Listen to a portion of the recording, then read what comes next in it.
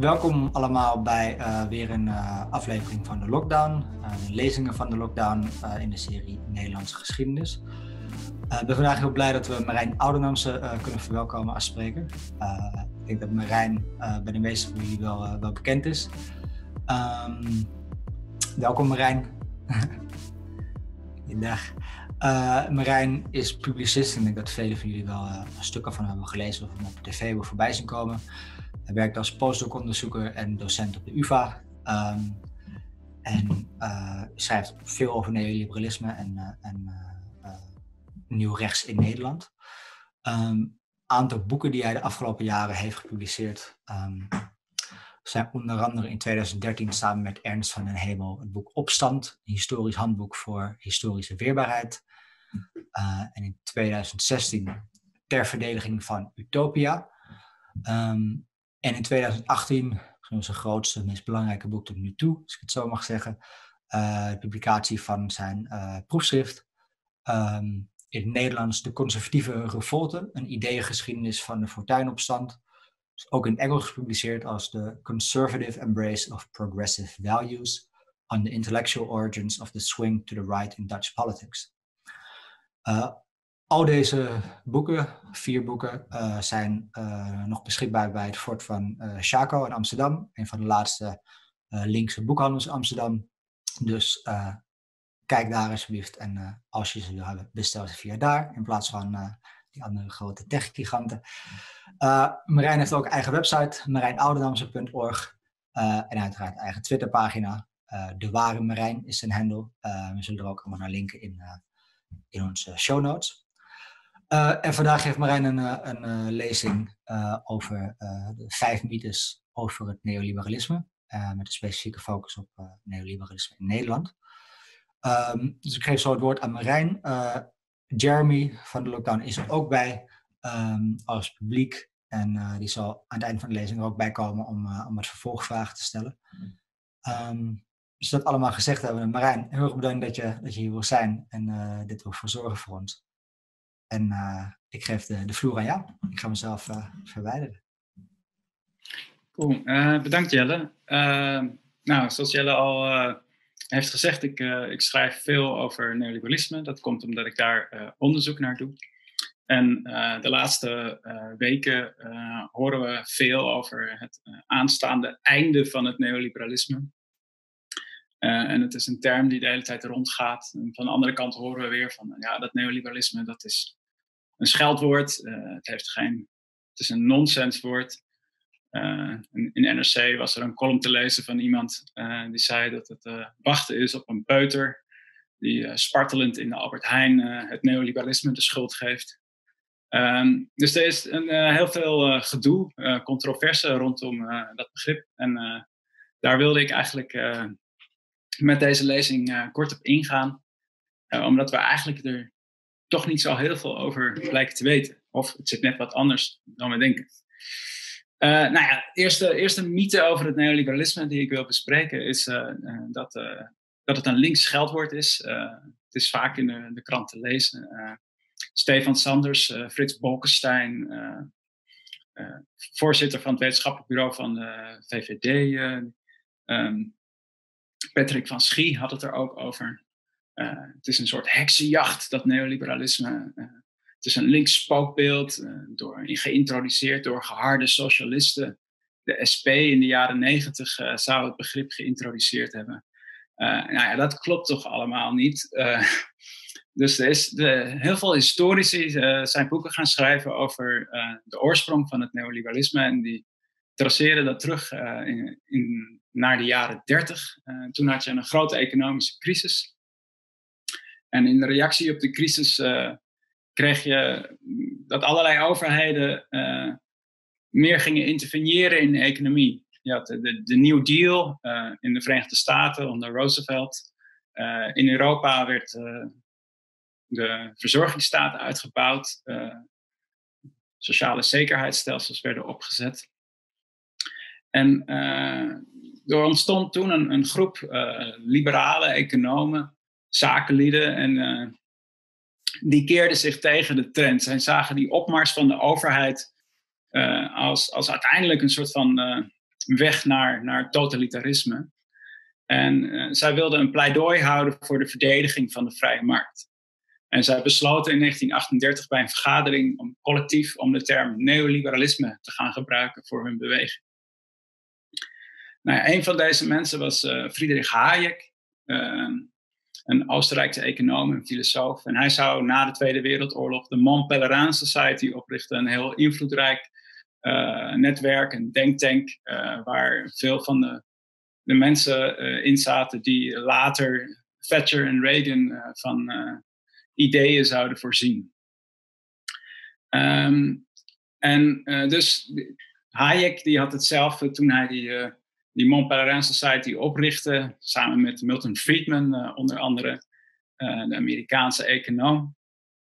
Um, die, zei van ja, ik ben heel blij dat we nu al die mensen bij elkaar hebben gehad van de neoliberale beweging. En Milton Friedman noemde dat ook zo. Later is die term een beetje in onbruik geraakt, maar dat het een links geldwoord uh, is, is dus echt onzin. En als je gaat kijken in de, de Nederlandse geschiedenis, dan zie je al heel snel dat in de jaren 50 ehm, heel veel mensen bezig zijn met, met die, die, uh, dat netwerk en, en die, die beweging die Hayek heeft opgericht ter verdediging van de vrije markt. Want dat vond ook in Nederland uh, heel veel weerslag.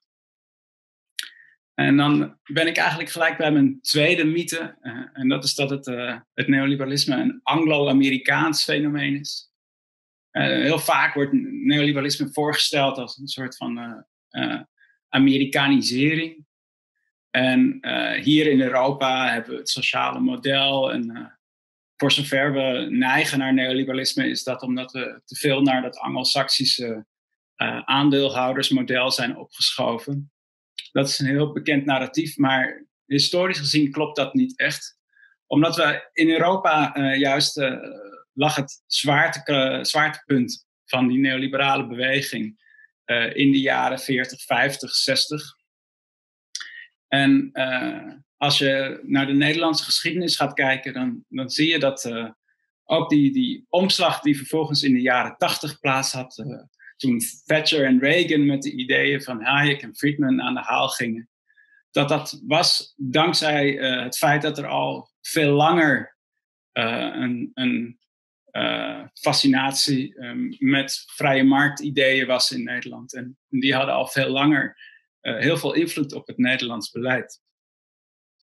Dus, en dat zie je eigenlijk overal in Europa, dat er uh, in Duitsland, in Italië, in Frankrijk, had je belangrijke neoliberale stromingen die grote invloed uitoefenden op het sociaal-economisch beleid van die landen. En dus heel veel aandacht is uiteindelijk uh, uitgegaan naar het spektakel, uh, het ideologische vuurwerk, zeg maar, dat door Thatcher en Reagan uh, werd aangestoken in de jaren tachtig, toen ze echt het conflict aangingen met de vakbonden en heel definitief afrekenden ehm, met, met de oude ideeën die gebaseerd waren op de Britse econoom Keynes. En die zei van uh, de markt is niet ideaal, je moet eigenlijk de hele tijd corrigeren, want anders raakt het uit balans en ontstaat er massawerkloosheid. Dus je moet eigenlijk de hele tijd als overheid uh, intervenerend optreden en, en de, zorgen dat je de vraag, de effectieve vraag in de economie op peil houdt. Goed, dat is uh, allemaal een beetje technisch. maar laat ik overgaan naar mijn volgende mythe. Dat het neoliberalisme heel erg tegen overheid en, bureaucratie gekant is als zodanig. Uh, dit is een, wat we vaak horen van die neoliberalen. Die zijn uh, heel erg uh, tegen de overheid, tegen de bureaucratie. Ze willen een soort, terug naar een soort minimale staat. de nachtwakerstaat uit, het uit, uit de 19e eeuw, zeg maar. En dat is niet helemaal zo. Dus de kritiek van, van die neoliberalen die rond die Mont Pelerin Society uh, waren verenigd, uh, was niet zo dat de overheid niets moest doen. Zij vonden juist van nee, die overheid die moet sterk interveneren, maar dat moet uh, interventies zijn die de markt verder aanjaagt. Dat noemden ze wel marktconforme interventie of planning for competition, zoals Hayek het noemde. Dus de overheid moet eigenlijk continu marktwerking in de samenleving aanjagen. En dat is ook, in Nederland is dat natuurlijk heel interessant, die term marktwerking. Er zit die rare paradox al in. Hè? Marktwerking is overheidsbeleid. Dus de overheid die, die richt markten in, uh, de overheid versterkt markten of de overheid introduceert marktprikkels in, in sectoren die eigenlijk niet echt een markt zijn. En denk bijvoorbeeld aan de zorg of aan het onderwijs. En daar komt ook uh, een, dat, dat bureaucratische element naar voren. Hè? Want als je bijvoorbeeld in een sector als het onderwijs of de zorg, als je daar een soort prestatieprikkels wil gaan introduceren, waardoor mensen zich gaan gedragen alsof ze uh, in een marktsituatie zitten, dan heb je allerlei formuliertjes nodig. Je moet overal prijskaartjes aan gaan hangen. Uh, en ja, dat, dat uh, levert een enorme bureaucratie op. Dus op die manier kan dus marktwerking heel goed samengaan met een zekere mate van bureaucratisering. En vooral ook in de publieke sector. Nou, ben ik bij mijn vierde, vierde mythe. En dat is dat neoliberalisme vooral individualisering is. En het, het, zijn heel vaak uh, christendemocraten die zich op die, die, manier uitlaten. Hugo de Jonge, de huidige leider van het CDA, die hield uh, kort geleden een lezing, de Abel Herzberg-lezing, waarin hij zich keerde tegen het neoliberalisme. Wat hij bovenal zag als een soort van een neiging tot, tot nou ja, vrij extreem individualisme. En als je gaat kijken naar de, de Nederlandse geschiedenis en hoe marktwerking hier is geïntroduceerd, uh, dan ligt dat toch uh, net even anders. Uh, want wat juist het geval was dat in de jaren zeventig had je die uitgebreide verzorgingsstaat. en, het, en het verhaal van, van rechts was toen, ja, door die verzorgingsstaat zijn mensen gaan individualiseren. Ze hebben het gezin niet meer nodig, ze hebben de kerk niet meer nodig. Ze hebben al die, die oude structuren niet meer nodig uit de verzuiling, hè, uit de jaren 50. Ze zijn geëmancipeerd en ze zijn individuen geworden. En uh, dat heeft allerlei problemen opgeleverd. En misschien is het daarom een goed idee om die verzorgingsstaat terug te gaan dringen. En uh, zodat mensen weer meer teruggeworpen worden op gemeenschappen. En daar wordt natuurlijk heel erg, uh, eigenlijk wordt daarmee ook mm, de rol van vrouwen heel erg uh, bedoeld. Hè? Dus uh, vrouwen die moeten weer mantelzorg gaan leveren. en die, die, zijn toch degene die, die dat soort gemeenschapszin enigszins in stand houden. En dat was heel erg het verhaal van de CDA, van het CDA in de jaren tachtig. Ze waren ook tegen, ze hebben een speciale wet ingevoerd die twee verdieners uh, extra belastingen oplegden. Dus ze vonden eigenlijk dat die vrouwen wat minder moesten gaan werken. om zo die gemeenschapszin in stand te houden. En tegelijkertijd kon daardoor op de verzorgingsstaat gekort worden. Dus wat je zag is dus, er, er was een marktgerichte wende in de Nederlandse politiek, maar die ging samen met een verhaal over de zorgzame samenleving. Um, en we hebben dat recent ook weer gezien. Uh, Mark Rutte, uh, in, in, die heeft een heel verhaal gehouden over de participatiesamenleving. Hè. Die zei van ja, de verzorgingsstaat, dat, dat is niet meer van deze tijd. Uh, burgers kunnen het zelf doen. En dat is de participatiesamenleving. En daarmee kopieerde hij heel erg dat, het, het christendemocratische verhaal uit de jaren tachtig. En daar zit dus een, een soort van een, een bepaalde afbouw van sociale rechten. En een verzorgingsstaat wordt daar gekoppeld aan gemeenschapszin, die vanuit de staat uh, wordt aangemoedigd. Uh, en dat is dus iets heel anders dan individualisering. Dus neoliberalisme kan heel goed samengaan met een bepaalde instrumentele uh, vorm van gemeenschapszin. Nou, dan zijn we bij mythe 5, niet echt een mythe eigenlijk, maar dat is de, de, de mythe van het einde van het neoliberalisme. En uh, ja, het, fascinerende is, is dat er om de zoveel tijd een, een einde van het neoliberalisme wordt verkondigd. En, en als je teruggaat in de geschiedenis, en je ziet dat het in 1938 is die term gemunt door die liberale intellectuelen, economen en zakenlieden. En ja, we zitten nu 80 jaar verder. En in al die jaren is er wel een aantal keer gezegd, in de jaren 50, in de jaren 80, na de financiële crisis, dat het neoliberalisme nu echt voor goed voorbij is. En ja, de vraag is überhaupt of het, een, een dergelijk absoluut kantelpunt zal zijn. ik denk veel meer dat er allerlei vreemde mengvormen optreden, dat we klein beetje minder neoliberalisme krijgen, maar niet dat we in één keer zeggen van rukzichtloos, we gaan het even helemaal anders doen en alles wat we tot nu toe hebben gedaan. Uh, nou, een dergelijke revolutie uh, zie ik niet uh, op de agenda staan. Zeker niet binnenkort. Oké, dat, dat waren mijn vijf mythes. wie er meer over wil weten, moedig ik aan om mijn teksten te lezen. ik schrijf ook aan een boek dat over een jaar ongeveer uitkomt. Dus hou me in de gaten. bedankt voor deze uitnodiging. Dankjewel Marijn. Moeten we natuurlijk wel eerst als allereerste weten, wat is de, de werktitel van dat boek? De werktitel is De Marktmeester. Oké. Okay. Dus de, de, de, markt een beetje als meester, maar ook de overheid als marktmeester. We zijn er nog niet heel erg tevreden mee, maar het is een... nee, ik vind het interessant. Ja. Oké, Jeremy, welkom ook jij in de, hey, in de yeah. aflevering. Um, zullen we met jou beginnen? Heb jij, zijn er wat dingen die je op zijn gevallen of die, die je wil vragen hierover?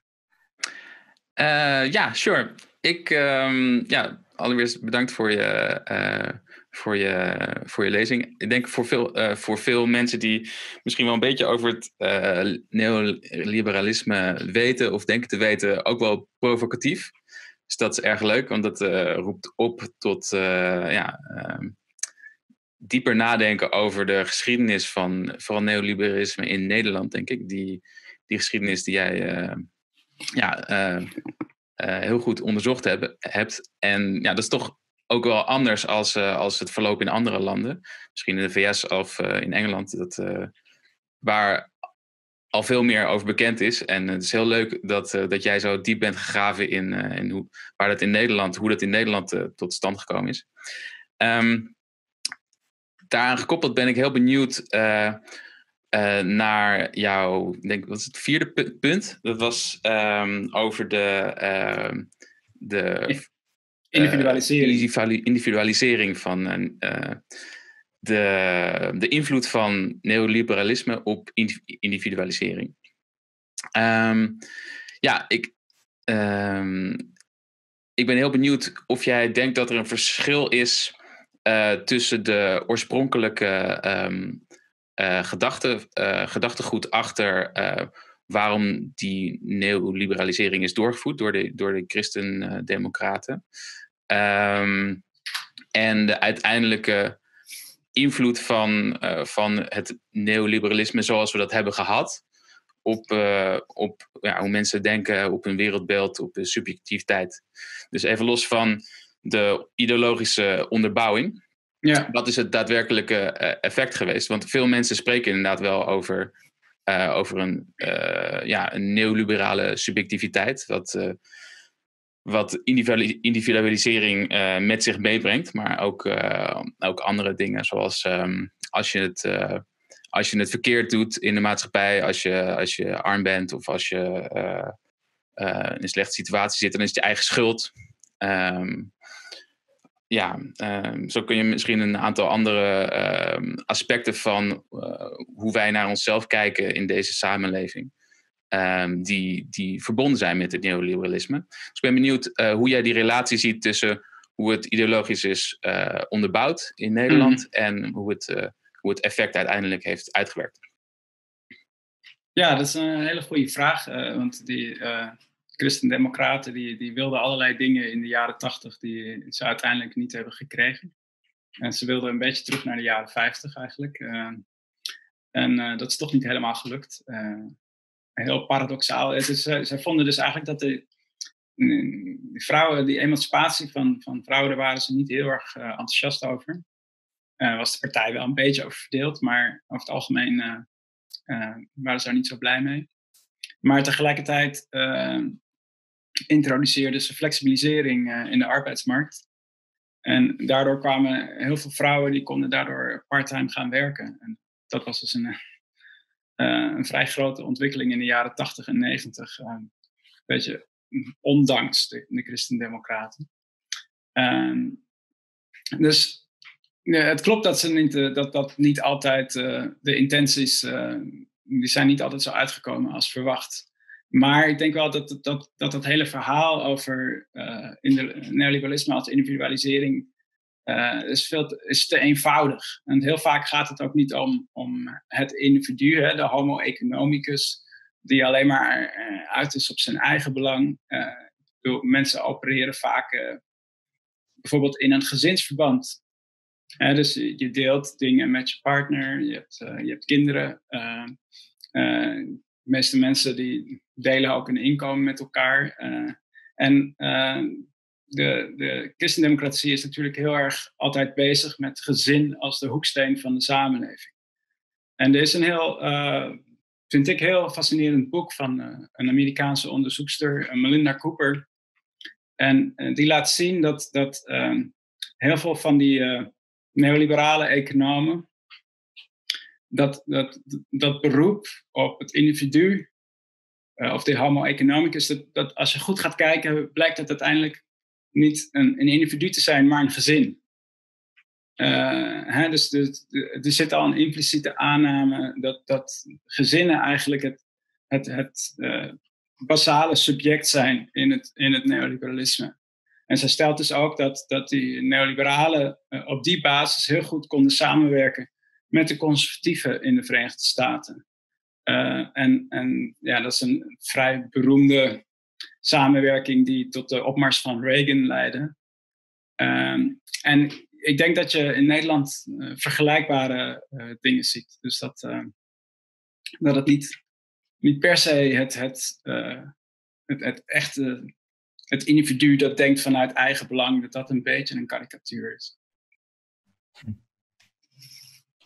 Dus dat is niet tot Nederland beperkt, maar ook in de Verenigde Staten dat heel uh, speelt dat een grote rol. Is, is dat iets algemeen dat ingebakken zit in neoliberalisme, die coalitie of ideeënverstrengeling? Nou ja, je hebt ook wel eh, echt uh, van die neoliberaal uh, georiënteerde economen die, die, die echt in hun modellen uitgaan van een homo economicus. Hmm. En die vinden dat je op die basis de samenleving moet, moet inrichten, dat mensen zoveel mogelijk geprikkeld worden. Ja. Maar als je gaat kijken in, in, in hoe zo'n beleid in werkelijkheid optreedt, dan zie je altijd dat er sprake is van coalities met een, beetje meer conservatief ingekleurde partijen en bewegingen. En, en dat dat neoliberalisme zich nooit voordoet als een sec, klinisch beroep op het, het, het eigen gereide individu dat zijn eigen belang nastreeft. Ja. Oké. Ehm, misschien een vraag die ons, die ons een beetje doet uitzoomen hiervan en, en neoliberalisme als, als geheel weer bekijkt. Um, jij, jij zei vaak uh, echt ideeëngeschiedenis. Hè? Jij bent gefocust op, op, uh, op dat aspect ervan. Um, maar hoe zie je neoliberalisme als, als geheel? Speelt het zich vooral af in de ideeënwereld? Zijn het ideologische stromingen of zijn er ook structurele economische veranderingen die ten grondslag liggen aan opkomst van neoliberalisme, of bepaalde fases daarin. Um, hoe zie je dat? Bedoel, aan de ene kant is het geïnstitutionaliseerd in, in denktanks, al voordat het misschien in economisch beleid wordt omgezet. Die ja. denktanks worden namelijk aan gefinancierd. Uh, vandaag de dag zijn er, uh, weet ik veel, hoeveel honderden denktanks uh, die gefinancierd worden door, um, door bedrijven, door rijke miljardairs, die dat gedachtegoed blijven verspreiden. Dus, hoe zie je die, die wisselwerking of, of die, ja, hoe zie je de pijltjes, om het heel simpel in een schema te stellen? Ja, nee, dat is, eh, dat is echt een van de, de, de moeilijkste dingen van dit type onderzoek. Ja. Uh, dus je hebt, uh, je hebt mensen die zeggen van, nou ja, het zijn puur ideeën. en we hoeven niet echt naar, naar de belangen te kijken en zo. want het zijn ook mensen die het leuk vinden om met ideeën bezig te zijn. En je hebt mensen die zeggen, nou, het is alleen maar politieke economie. Het zijn alleen maar. Het, het, het is eigenlijk. Gaat het om die materiële belangen. En de rest is een beetje decoratie daaromheen. Hè? Dus al dat, uh, al, dat, al dat geschrijf, al dat gepraat, dat, dat uh, is gewoon een afgeleide van mensen hun belangen. En daartussenin uh, zit een uh, stroming waar, waar wij ons ook toe rekenen met ons onderzoek. en dat zijn mensen die zeggen van het is voortdurend een wisselwerking tussen die twee.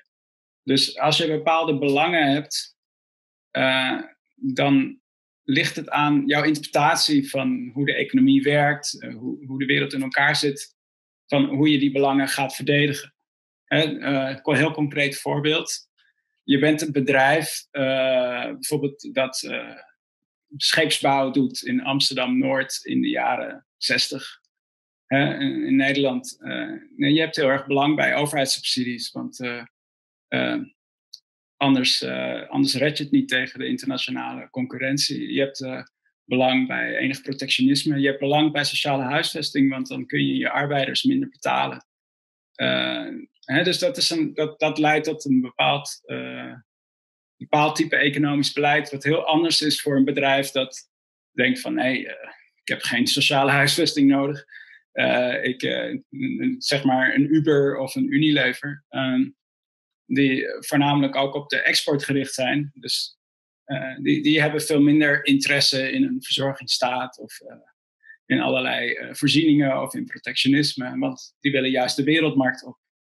Hè, dus de manier waarop een bedrijf kijkt naar zijn belangen, wordt hem ook dus ja, is gedeeltelijk bepaald door ideeën. Dus je ziet dus dat er Frits Balkenstein, de VVD-leider, die ik ook in mijn proefschrift uh, uh, heb beschreven. Die... Vond, hij vond het een goed proefschrift, begreep ik, hè? Ja, hij, vond, hij was er heel enthousiast over. Ja. Uh, nee, maar die, die klaagde wel dat, dat de Nederlandse bedrijven dat die hem eigenlijk niet echt heel erg sympathiek vonden. En dat ze veel beter met Wim Kok, vakbondsman en PvdA-leider, overleg, overweg konden. Want uh, die was minder polariserend en die, uh, zat er minder op te benadrukken dat ze, dat ze neigden naar protectionisme en kartelvorming en zo. Dus uh, je ziet dus dat die, zelfs de, wat meer diehard neoliberalen, zoals Frits Bolkestein, dat die niet altijd heel erg positief onthaald werden door, door het Nederlands bedrijfsleven. En dat heb je ook met, met Hayek en Friedman. als zij beginnen met een neoliberale beweging, klagen ze erover in de jaren 50 dat uh, heel veel van die uh, captains of industry dat die veel meer belang denken te hebben aan het Keynesianisme. Hè, want als je de effectieve vraag stimuleert, nou, dan gaan al die arbeiders die gaan je producten kopen. dan heb je goede afzet. En een beetje protectionisme is ook fijn. nou ja, dat, en, en die captains of industry hadden niet echt heel veel interesse in het vrije marktdenken. Nou, dat is nu natuurlijk heel anders. Uh, maar we zien wel weer een terugkeer van die oude debatten. Uh, en door zeg maar de, de handelsoorlog met China uh, en, en ook door, gedeeltelijk door het coronavirus, door Brexit. maar ja, dus, dus belangen en ideeën die lopen de hele tijd door elkaar en is voortdurend strijd over hoe moet je belangen interpreteren en uh, welke coalities kun je smeden met bepaalde ideeën om, om een bepaalde richting op te gaan. Dat, dat, dat, gaat, ja, dat, dat is een, een continue wisselwerking. Ja, ik, uh, ik heb hier wel een, een, een, vraag over. Of, um, um, er zijn een aantal verschuivingen die, die we denk ik kunnen, kunnen, kunnen signaleren in, in, um, in het kapitalisme. In, uh, de vorm van kapitalisme die we op dit moment aan, uh, ja, om ons heen zien. Uh, bijvoorbeeld de opkomst van, van de grote platforms zoals Google, Facebook, Amazon. Um, die hebben, zoals je zegt, die hebben een bepaalde soort belangen. Ehm, die zijn misschien anders als een scheepsbouw uit, uit de jaren zestig. ehm, ja, zie jij, ehm, zie jij een, een verschuiving ehm, door de opkomst van dat soort bedrijven, ook bijvoorbeeld de verregaande financialisering van, van de economie? Zie jij een verschuiving in, de, in die soort van, ja, als je het ziet als een, een, een machtsveld tussen verschillende ja, verschillende ideeënwerelden en verschillende materiële belangen tussen die mhm. sectoren. Zie jij een verschuiving, een bepaalde richting op als gevolg van ja, die, ook die verschuiving in het belang van dat soort bedrijven in, in, in Nederland of, of wereldwijd? Ja, nou, dat, de, dat is vooral een verschuiving die, die al heel heeft plaatsgevonden. Dus wat je, wat je ziet is dat in de jaren tachtig in Nederland werd besloten om de lonen te gaan matigen. Uh, en dat was gedeeltelijk een overheidsstrategie en, en gedeeltelijk werden de vakbonden onder druk gezet om daarin mee te gaan. en wereldwijd natuurlijk was dat een, een, trend dat Thatcher en Reagan die, die voerden een kleine oorlog met de vakbonden en wisten ze nou ja, in ieder geval gedeeltelijk kapot te maken. Um, en het probleem wat er vervolgens ontstond, was als je die lonen gaat matigen, nou ja, dan heb je ook minder vraag uh, in de economie. dus de mensen kunnen minder producten kopen. Uh, en wat werd als oplossing daartoe gevonden? Het liberaliseren van de financiële markt. maak het mensen makkelijker om te lenen, om een creditcard te krijgen, om een hele ruimhartige hypotheek te krijgen. Kort gezegd, maak het mensen makkelijker om schulden te maken. Um, en uh, dat werd in, in, in Nederland uh, heel sterk uh, bevorderd vanuit de overheid. en daardoor, daar rondomheen zag je dus dat er een, een bredere verschuiving plaatsvond van nou ja, een economie waarin industrie nog een hele belangrijke rol speelde, naar een economie waar waarin de financiële sector echt heel erg belangrijk werd. Die, die, die werd echt booming in de jaren 80, 90, überhaupt in bredere zin dienstverlening natuurlijk. Um, en uh, ja, dat is, dat is wel uh, het type economie waarin wij nu leven. Uh, met ja, heel, heel veel schuldenlast, heel, heel veel vrijheid voor banken en de financiële sector. Um, en dat heeft natuurlijk ook effecten op, op nou ja, op überhaupt het hele model van, van, van hoe de economie opereert.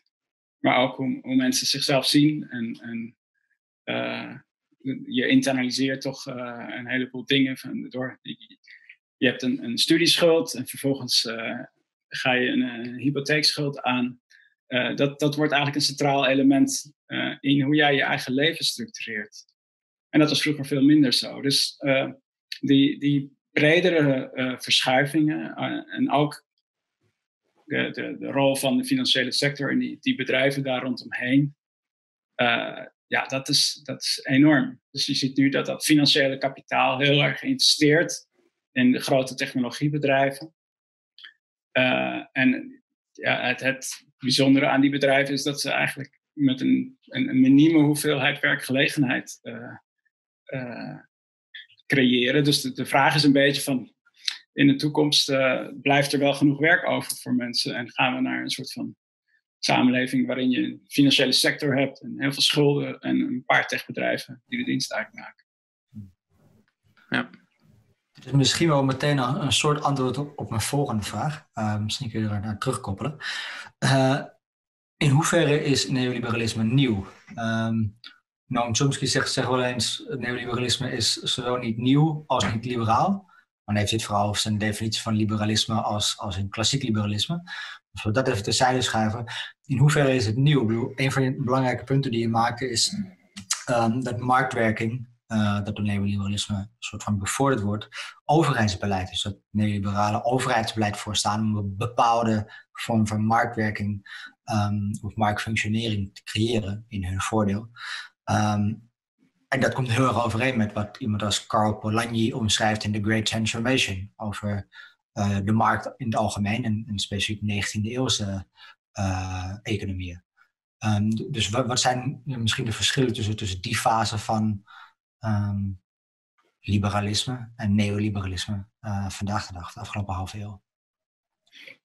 Ja, goede vraag. Um, nou ja, dus op heel basaal uh, op het niveau van ideeën zie je dus een verschuiving van uh, laissez-faire liberalisme, hè? dus laissez-faire, laissez-passer van de overheid, uh, die houdt zijn handen van de markt af en, en marktpartijen lossen het zelf op.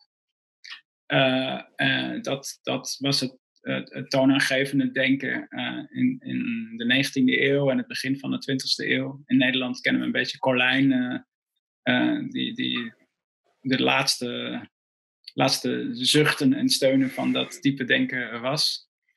Ehm, en uh, dat, is, dat is op het niveau van, van gedachtegoed. En dan wat Carl Polanyi, uh, een belangrijk uh, econoom, denker, filosoof, socioloog wordt hij ook wel genoemd, economisch socioloog. die zei van ja, dat was altijd al niet zo. Zeg maar. ja, altijd al was het zo dat, dat overheden toch wel bezig waren met het inrichten van markten uh, en het mogelijk maken van, van uh, marktwerking. maar het grote verschil is, is dat de overheid in die tijd veel kleiner was. dus wat je ziet in, in, de 20 in het midden van de 20e eeuw, ook onder druk natuurlijk van twee wereldoorlogen, is dat de, de, de, de grootte van het overheidsapparaat, de professionaliteit daarvan, Um, en de, de mate waarin de overheid deelneemt aan het economische leven, dat die echt spectaculair toenemen over de hele linie. En uh, dat neoliberalisme is een, is een soort van update van dat oude laissez-faire liberalisme. Uh, en, en probeert zich daartoe te verhouden. En zegt van ja, oké, maar we kunnen dat, dat laissez-faire denken, dat is, dat is verouderd, daar kunnen we niks meer mee. We moeten nu een denken hebben dat heel erg uitgaat van dat de overheid actief de markt moet inkaderen en aanjagen. Niet door het prijsmechanisme te gaan corrigeren of eraan te, door te gaan interveneren zoals de Keynesianen willen. Uh, maar door, door heldere kaders uh, te verschaffen. En er wordt ook wel uh, de voorwaarden scheppend beleid genoemd in de jaren 50 en 60. Dat is een term die nog steeds rondgaat. Dus dat is wel de grote innovatie van, van uh, de neoliberalen uh, ten opzichte van het laissez-faire liberalisme. Ja, interessant. maar hebben we daar eerder over een schaal of echt een grote verandering? Of, of meer een verschil op schaal? Want, um, en dat is natuurlijk een beetje Polanyi's punt, uh, dat zelfs in de fase van het klassieke laissez-faire denken, um, kleine overheid laat de markt zijn werk doen, um, ja dat er alsnog redelijk veel, een hele andere schaal, maar redelijk veel overheidssteun is voor um, bedrijven of marktpartners die dat nodig hebben. Uh, de hoogtijdagen van laissez-faire uh, kapitalisme zijn ook de hoogtijdagen van het kolonialisme. Um, Als er één ding is wat het creëren van markt is, is het het uh, gewelddadig binnenvallen van andere landen, hun industrieën kapot maken, allerlei tarieven opleggen aan hun om je eigen um, Um, domestic, help me. Uh, binnenlands. Uh. Dank je, godverdomme. Um, een beetje je eigen binnenlandse uh, bedrijven laat floreren door het kapotmaken van markten elders en het openmaken van, van markten voor die bedrijven. Um, dus bij buitenlands beleid had, had, ook in de tijd van het laissez-faire kapitalisme hadden de westerse overheden een enorm grote rol in het creëren van markten. Ja, ja, maar dat, dat, ik snap dat je door oorlogvoering en door het opleggen van tarieven. Maar ik bedoel, dat, dat in de 20e eeuw, als je het hebt over overheidsinterventie, dan, dan gaat het veel meer over uh, nou ja, het, het, aanleggen van een bepaalde infrastructuur, uh, het creëren van uh, regelgeving op het, op het gebied van producten en, en, en prijzen en, en nou ja, dus, dus uh, dat gaat dan veel subtielere en, en diepere vormen van, van regelgeving um, dan uh, in, in de 19e eeuw. Dat Soft power. Ja, het is, uh, ik vond het altijd wel grappig aan, aan Frits Bolkestein, die voormalig VVD-leider, die zeiden van ja, hè, um, je, je kunt niet tegelijkertijd ehm, tegen het neoliberalisme zijn en, en, en ook afkerig van, van bureaucratie. want neoliberalen zijn tegen bureaucratie. Nou, nou, dat zei, nou niet, niet, in die termen hoor, maar dat zegt hij in, in, in een van zijn boeken. Maar toen was hij dus commissaris van de interne markt in Europa. En daar zitten dus duizenden bureaucraten, die zaten daar de, alle regels voor de Europese interne markt uh, te maken. Hè. Dus uh, Bokenstein die, die, die heeft een legertje bureaucraten onder zich die bezig zijn met marktwerking. En die zegt dan, nou ja, het is het een of het ander, of de vrije markt of, of bureaucratie. En nou ja, zo, zo zit dat natuurlijk niet in elkaar. Ja, bureaucratie is een soort van uh, uh, een scare word, een, uh, een afschrikwoord voor, voor socialisme in zijn, in zijn hoofd, denk ik dan. Um, ja, precies. Maar, maar daar zit dus altijd al een hele rare contradictie in. ja. ja. Hmm. Nog vragen, Jer? Anders heb ik er nog een paar. Go ahead. Go ahead, oké. Okay. Um, waar gaan we heen? En misschien uh, een beetje um, te sturen naar een ander deel van waar, waar jij ook over hebt gepubliceerd. Um, hoe zie je de, uh, deze fase van neoliberalisme? Um, hoe verhoudt hij zich tot de opkomst van nieuw rechts, specifiek in Nederland? Ja, ik heb dus mijn proefschrift geschreven over de opkomst van, van nieuw rechts. En daarmee bedoel ik een, een coalitie van meer cultuurconservatieve en meer vrije marktdenkers, ofwel neoliberaal georiënteerde figuren. En die term werd in Kunnen we er even een paar, een paar, poppetjes bij noemen, dat we weten over hebben Ja, over, dus hebben rechts, of, dan, dan heb je het over de, de, coalitie achter Thatcher en Reagan. Dat werd nieuw rechts genoemd in de jaren tachtig. En Joop den Uyl, de PvdA-leider, die, die zei, die had, hield een befaamde Paradiso-lezing in 1981. En die zei van, eh, we zien de opmars van nieuw rechts in Nederland. Dus dat heb ik ook een beetje als een startpunt gebruikt voor, voor mijn eigen analyse. Van ja, je ziet hier ook die uh, interessante combinatie van uh, meer vrije marktdenkers en meer cultuurconservatief georiënteerde uh, types. En, en vaak gecombineerd in één persoon. Voor mij was Frits Bokenstein daar een, voorbeeld van, maar ook Pim Fortuyn in Nederland was in de jaren negentig een felle vrije marktdenker die, die vond dat allerlei vormen van sociale voorzieningen moesten worden afgeschaft. de, de cao's moesten worden afgeschaft. We, moesten toe naar een soort van Amerikaanse open arbeidsmarkt. alles moest compleet worden geliberaliseerd volgens hem. En uh, de, de, de, mens moest een ondernemer worden van zijn eigen arbeid. Dus uh, iedereen moest ondernemer worden. En dat is een soort van heel klassiek neoliberaal uh, motief. dus dat is heel interessant. Dus, dus Pim Fortuyn was tot eigenlijk tot aan zijn dood, dat zie je ook terug in LPF-verkiezingsprogramma's, was best wel diehard neoliberaal. Maar hij combineerde dat met een bepaalde bepaald cultuurconservatisme en, en ook wel nationalisme. Maar, uh, maar tegelijkertijd de omarming van bepaalde progressieve waarden. Ja, dus in, in Nederland, uh, het interessante aan, aan in, in andere landen heb je, zie je dat die, die rechtervleugel veel traditioneler is ingekleurd. Uh, en, en zich keert tegen homorechten en tegen vrouwenrechten. In de Verenigde Staten is een goed voorbeeld. Hè? daar, onder Trump wordt nu weer een rechter waarschijnlijk aangesteld uh, die uh, tegen abortus is. En dat, dat is een hele oude strijd die nog steeds doorgaat daar. Dat zijn de Amerikaanse culture wars. En in Nederland was dat, dat conservatisme, dat cultuurconservatisme, was altijd al minder sterk, omdat die op de rechtervleugel is men daarover intern heel erg verdeeld.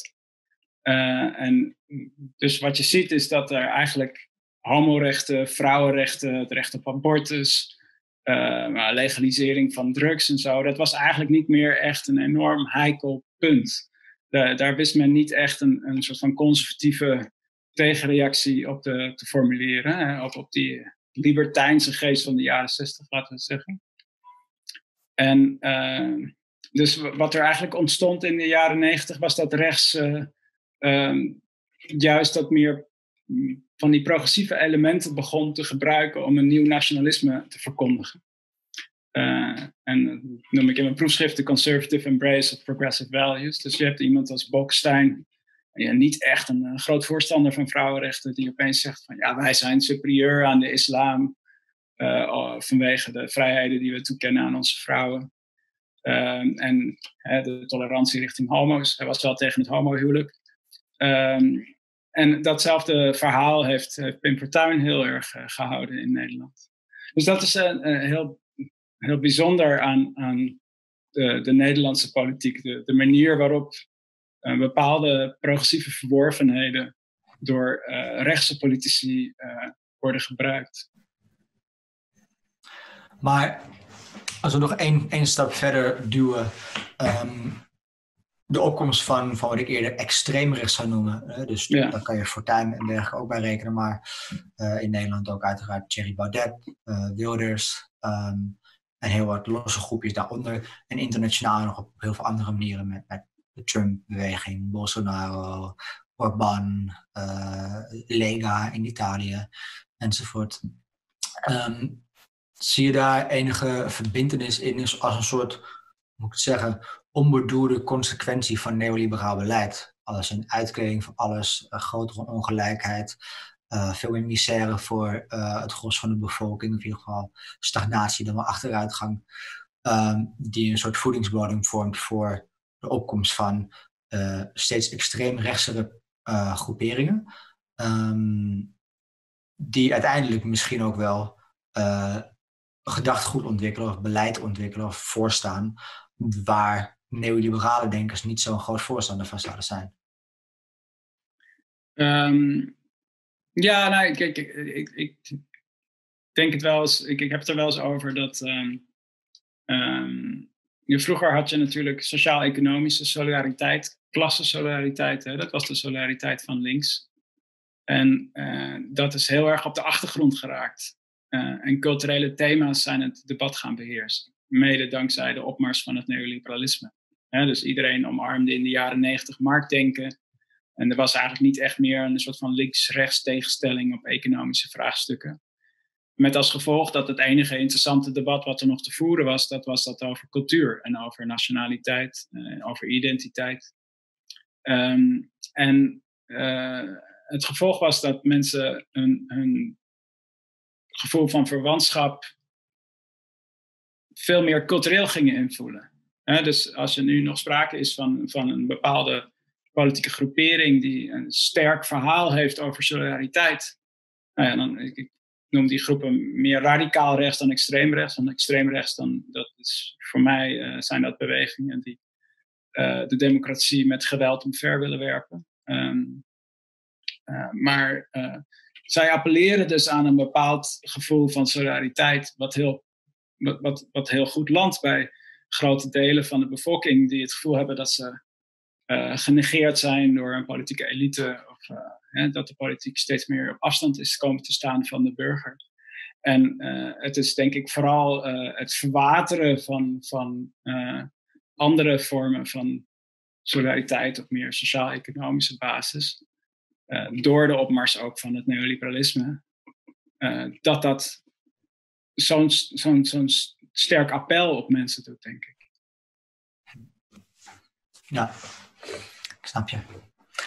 Um, tenzij jij nog een vraag hebt, Jeremy. Heb ik nog één misschien afsluitende vraag? Um,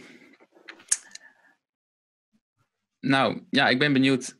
Um, misschien, misschien heeft het iets te maken met, uh, met je nieuwe boek. Uh, of ik ben benieuwd waar, waar jij uh, misschien als je, als je die ideeënwereld uh, zou kunnen, uh, ja, als je zou kunnen nadenken van waar het over tien jaar, eh, hoe het er over tien jaar uit zou zien. Waar, hoe zie jij het, ehm, het traject, zeg maar? Het, welke kant gaat het op op dit moment?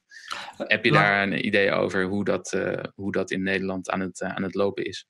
Laat ik daar een vervolgvraag bij stellen, want was het eigenlijk gewoon hetzelfde, denk ik. Uh, of je daarin het, uh, je had het ook over uh, de mythe dat we aan het einde van neoliberalisme zijn. Um, dus daar gaat Jeremy's vraag denk ik ook over. Hoe gaat het hier de komende jaren, denk je? En kun je daar misschien het effect, um, meenemen hoe jij het effect van de coronacrisis daarin ziet? Dat toch een soort um, ondanks uh, de politici die het zelf misschien niet wilden, veel grotere uh, inmenging van de overheid in economieën wereldwijd heeft veroorzaakt. Uh, en veel mensen speculeren erover dat het ook niet zomaar meer verdwijnt. Um, dus misschien kun je dat er ook in meenemen. Of je daar een soort blijvend effect van ziet. Ja, nou ja, ik denk op korte termijn zie je dus dat de, de, economie die ligt plat en die, die kan niet. Uh, je, je, kunt nu heel moeilijk een soort van pleidooi houden voor minder overheidsinterventie, omdat we, iedereen begrijpt dat, de, dat de economie niet zomaar vanzelf weer kan gaan opstarten. En dus we, we, we zitten in een soort van uitzonderingsfase, wat mij betreft. En ik denk dat, dat veel politici op de rechterflank, maar ook veel, nou ja, laten we zeggen, de belangengroepen die de dienst uitmaken uh, in, in, in Nederland en ook daarbuiten, dat die eigenlijk hopen dat we teruggaan naar een nieuw normaal als eenmaal het virus weg is. Dan gaan we weer gewoon op de oude voet uh, schulden afbouwen en uh, het bezuinigings, bezuinigingsbeleid van voorheen. Dat is wel hoe ik denk dat, dat veel mensen daarin staan. Maar die, die korte termijn die is alleen, denk ik, veel, veel groter geworden. Dus de, de uitzonderingstoestand gaat wel een aantal jaar duren, denk ik. Uh, en uh, er zijn wel veranderingen die plaatsvinden. Je hebt nu een investeringsfonds, nou, een typisch Keynesiaans element. Maar dat is zo bescheiden van opzet dat het uh, feitelijk niet echt een, een, een, grote verandering is. Het is gewoon wat geld uit, uitdelen aan bedrijven dat de overheid goedkoop kan krijgen. Uh, het is niet de overheid die zelf een soort van investeringsstrategie uitzet. Dus we, zijn niet echt, denk ik, nog uh, in een ander paradigma. We zijn in een soort van uitzonderingstoestand waarin er allerlei uh, gekke experimenten gaan gebeuren. Um, en ik denk dat er nog, ja, zodra het virus onder controle is, als dat gaat gebeuren natuurlijk, dat er dan een strijd zal gaan losbarsten over wie de rekening hiervoor moet gaan betalen en hoe uh, we de samenleving gaan inrichten. En die, die strijd kan nu nog niet gevoerd worden, omdat het gewoon nu overduidelijk is dat uh, ja, de, de, de, oude recepten niet werken. Je kan nu niet gaan bezuinigen, je, je kan het nu niet aan de markt overlaten, uh, want die is er niet. Tenminste, die is zo sterk verzwakt. ja, dus ik, uh, ik denk dat, dat het heel moeilijk is om, om op langere termijn de toekomst te voorspellen, omdat we ook niet eens weten of er nu een tweede lockdown komt of niet. Uh, maar ik denk wel dat er, dat er dus, uh, we leven in een periode van dat er opeens veel meer dingen mogelijk zijn dan afhankelijk werden gedacht. Ik denk in ieder geval dat welke kant het op gaat de komende jaren, komende decennia, ook voor een belangrijk deel te maken heeft met ja, hoe wij er zelf in staan, wat wij zelf doen als sociale bewegingen. Um, of we weer kracht gaan opbouwen uh, binnen links, binnen linkse politieke partijen, maar ook daarbuiten. Um, op dit moment is het natuurlijk vrij bedroefd gesteld daarmee in Nederland. Uh, en um, ja, ik denk dat daar uh, onze taak in ieder geval ligt. Tenzij je nog wat afsluitende woorden hebt of dingen die je graag nog wil bespreken, ik denk dat we hierbij laten. Ja, nou super. Bedankt voor de uitnodiging. Leuk ja. om te doen. Jij heel erg bedankt voor het voorbereiden hiervan. Het is echt uh, heel erg interessant, heel belangrijk uh, thema. Um, Jeremy ook bedankt. Um, ja, en voor iedereen, uh, Fort van Chaco, dan linken we naar de boekhandel hier in Amsterdam, waar Marijn's boeken te koop zijn. Koop ze daar, geef je geld niet aan Jeff Bezos. lokale boekhandels hebben het heel moeilijk. Um, dus alsjeblieft, ga daarheen. En uh, tot de volgende aflevering.